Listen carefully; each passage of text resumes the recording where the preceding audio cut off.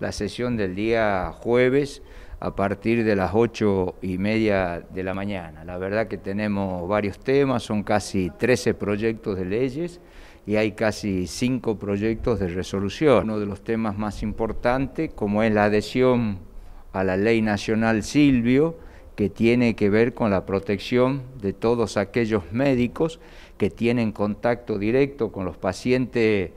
que son portadores del coronavirus, confeccionar un registro, también evitar que no sean discriminados por la sociedad. Con este instrumento también le estamos dando una protección importante a todos aquellos profesionales médicos que día a día luchan por salvar vida en la provincia de Tucumán. Luego también vamos a avanzar con proyectos de ley que tienen que ver llevar adelante esta reactivación de la obra pública con los fondos que viene consiguiendo el gobernador Juan Mansur a nivel nacional, como es el hecho de la expropiación de un terreno en la ciudad de Burruyacu, un terreno a donde se va a construir una planta de tratamiento, de manera que la ciudad de Burruyacu también pueda habilitarse las cloacas. Ustedes saben que nosotros hemos implementado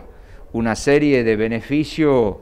para todas aquellas viudas, producto de que de los policías que han caído en el cumplimiento del deber y hoy le vamos a asignar ese beneficio que va a ser tratado en un proyecto de resolución a la viuda del, del cabo Lucena. Por último también